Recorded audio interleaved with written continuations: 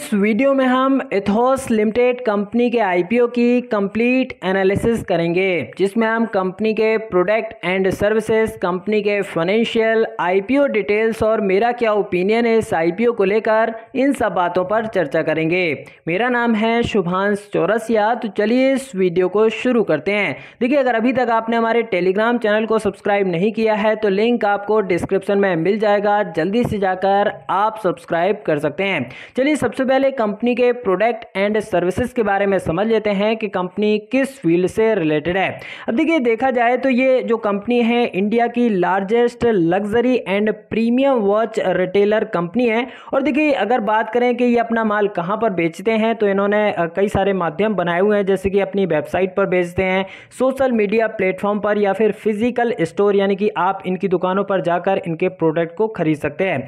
आगे यहाँ पर बताया गया है कि Ethos limited operates on an omni-channel model and allows customer to order product either offline और online, यानी कि online और offline, जैसे भी आप चाहें, इनके प्रोडक्ट को ऑर्डर कर सकते हैं। Have the flexibility of buying product at one store and returning at another यानी कि अगर आप मान लीजिए कि दिल्ली में रहते हैं, आपने इनके स्टोर से वॉच खरीदी और आप इन आप फिर उसके बाद मुंबई में शिफ्ट हो गए हैं और आपके प्रोडक्ट में कोई दिक्कत आती है या फिर आप चेंज करना चाहते हैं तो आप मुंबई में इन्हीं के स्टोर पर जाइए और आप चेंज कर सकते हैं। तो ये फ्लेक्सिबिलिटी इन्होंने प्रोवाइड कर रखी है। और आगे यहाँ पर बताया गया है कि browsing product closures and placing order online with doorstep delivery यानी कि आप ऑफलाइन भी अगर ऑर्डर करते हैं, तब भी आपके घर में डिलीवरी इनके प्रोडक्ट की हो जाएगी। तो ओवरऑल कहा जाए तो ये लग्जरी एंड प्रीमियम वॉच बनाने वाली कंपनी है, जो कि कई सारी फैसिलिटी आपको प्रोवाइड करती है।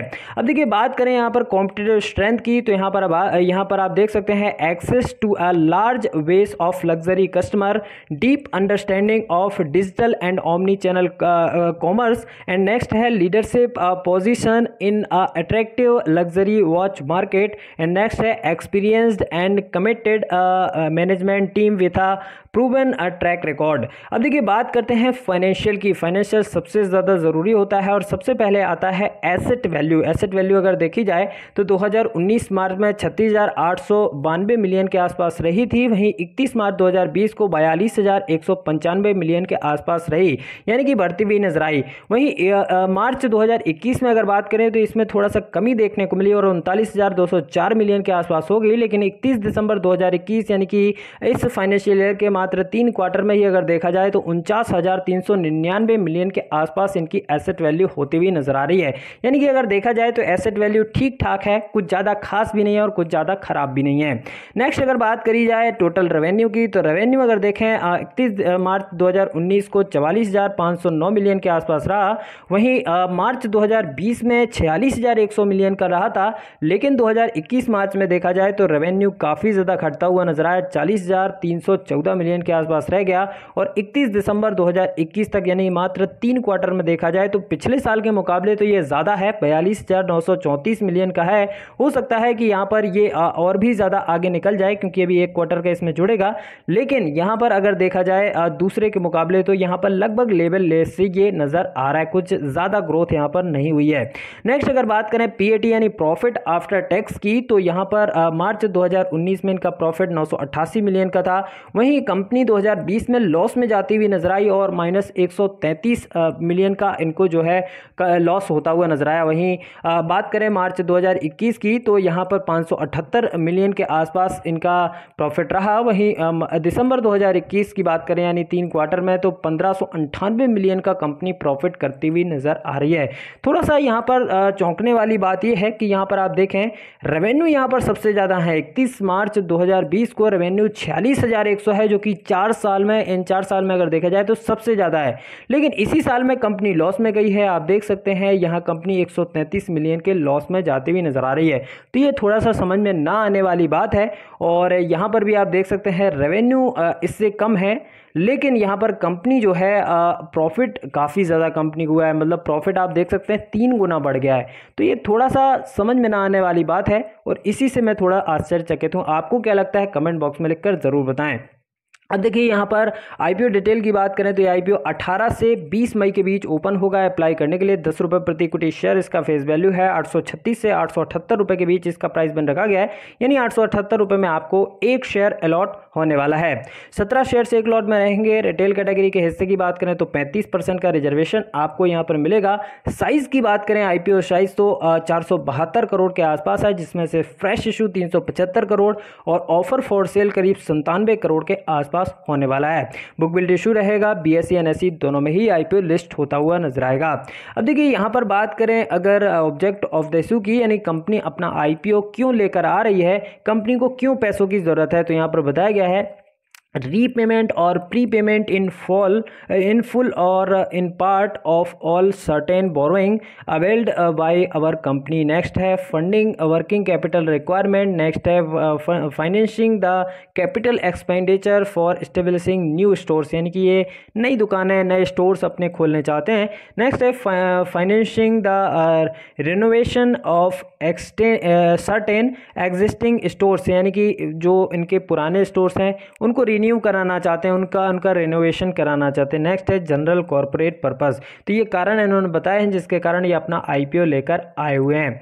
अब देखिए, बात करते हैं टाइम टेबल की। तो जैसे कि पता है आपको, अठारह से बीस मई के बीच ये ओपन होने वाला है। अलॉटमेंट की बात करें तो पच्चीस मई को इसका अलॉटमेंट आएगा। रिफंड की बात करें तो अगर आपको अलॉटमेंट नहीं मिला है तो छब्बीस मई के दिन इसका अलॉटमेंट आ जाएगा।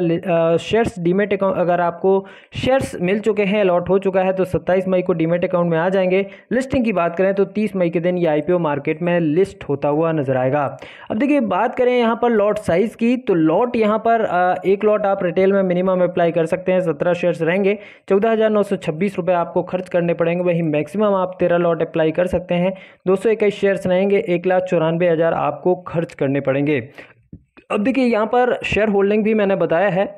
जब ये आईपीओ नहीं आया था तो ये इनकी जो प्रमोटर होल्डिंग थी, वो करीब इक्यासी दशमलव ज़ीरो वन परसेंट थी कंपनी के अंदर। लेकिन ये आईपीओ आने के बाद जो प्रोमोटर की होल्डिंग है, करीब 61 परसेंट के आसपास बचेगी। इसका मतलब है करीब करीब 20 परसेंट ये डाइल्यूट कर रहे हैं और 20 परसेंट का जो इनका वैल्यू है, वो करीब करीब यहाँ पर आप देखेंगे जो मैंने आपको बताया था, करीब करीब चार सौ बहत्तर करोड़ रुपए होता है, चार सौ बहत्तर करोड़ बीस है कंपनी का। यानी कि आप ये मान के चल सकते हैं कि करीब करीब बाईस तेईस बाईस तेईस करोड़ की ये टोटल कंपनी होती हुई नज़र आ रही है। यहाँ से आप वैल्यूएशन फाइंड आउट कर सकते हैं, इसलिए मैंने आपको बताया। अब देखिए, यहाँ पर सारी चीज़ें हमने समझ गए कि भाई कंपनी क्या है, क्यों है, कैसे करती है काम कंपनी के फाइनेंशियल कैसे हैं आईपीओ की डिटेल क्या है। बात आती है कि भाई इस आईपीओ में अप्लाई करें या फिर इस आईपीओ में हमें लॉस हो सकता है, क्या करना चाहिए? तो देखिए, जिस तरीके से इसके फाइनल फाइनेंशियल हैं फाइनेंशियल थोड़ा सा अटपटे ज़रूर हैं, लेकिन फाइनेंशियल ठीक ठाक कह सकते हैं, बहुत ज़्यादा अच्छे नहीं है और बहुत ज़्यादा ख़राब भी नहीं है। एकदम मतलब थोड़ा सा ठीक ठाक लेवल वाले फाइनेंशियल हैं और उस लिहाज से अगर देखा जाए तो मुझे ऐसा लगता है कि ये आईपीओ ज़्यादा कुछ लिस्टिंग है, जैसे डबल ट्रिपल ये तो नहीं देने वाला है। प्रीमियम भी इसका अपडेट नहीं हुआ है और मुझे थोड़ा सा महँगा लग रहा है। पर्सनली अगर देखा जाए तो इसका प्राइस बैंड थोड़ा सा महँगा लग रहा है और उस लिहाज से मैं आपको यही बोलूँगा कि अगर आप रिस्की निवेशक हैं, अगर आप रिस्क लेना जानते हैं कम लिस्टिंग है, जैसे अगर मिलेगा तो 10 12 15 परसेंट का यहाँ पर आपको जो है रिटर्न मिलने वाला है। और अगर इतने में भी आप रिस्की निवेशक हैं तो ही आप इसमें अप्लाई करें, क्योंकि मार्केट की जो स्थिति चल रही है, वो आप सब जानते हैं। और अगर मार्केट थोड़ा इधर का उधर होता है तो निश्चित रूप से यहाँ पर भी उसका असर देखने को मिलेगा। तो मेरा मानना है कि जो यहाँ पर रिस्की निवेशक हैं, वो अप्लाई करें। बाकी सेफ़ निवेशक यहाँ से बिल्कुल दूर रहें। आपको यहाँ पर अप्लाई नहीं करना चाहिए, मेरा पर्सनल ओपिनियन है। और ये शुरुआती जो जो मुझे समझ आ रहा है इस आई के बारे में मैं आपको बता रहा हूँ। बाकी धीरे धीरे डेली अपडेट मैं आपको देता रहता हूँ। जैसे जैसे इस आई की देखिए, कल से ही ओपन होने वाला है डेली में अपडेट दूँगा और जैसे जैसे और चीज़ें सामने आएँगी पॉजिटिव नेगेटिव वो मैं आपको अपडेट देता रहूँगा। तो अगर आप जो भी होगा अपन डिस्कस करते रहेंगे बट अभी का जो डिसीज़न है, वो यही है कि इस आई में रिस्की निवेशकों को अप्लाई करना चाहिए। ज़्यादा लिस्टिंग है, जैसे फिफ्टी परसेंट भी अगर लिस्टिंग मिल जाता तो अच्छा रहता, लेकिन यहाँ पर उतना भी मिलने की संभावनाएँ नहीं है। तो मैं यही कहूँगा कि आपको यहाँ पर इस आईपीओ से थोड़ा सा दूर रहना चाहिए और और भी आईपीओ आएँगे तो उसमें आप अप्लाई कर सकते हैं। केवल रिस्की निवेशक यहाँ पर अप्लाई करें, वो भी कम लिस्टिंग है इनके लिए। तो शुरू अभी यही है, बाकी अपडेट आपको मिलती रहेगी। आई थिंक वीडियो पसंद आया होगा। वीडियो पसंद आया तो लाइक शेयर ज़रूर करें। चैनल पर नए हैं तो सब्सक्राइब ज़रूर करें। धन्यवाद।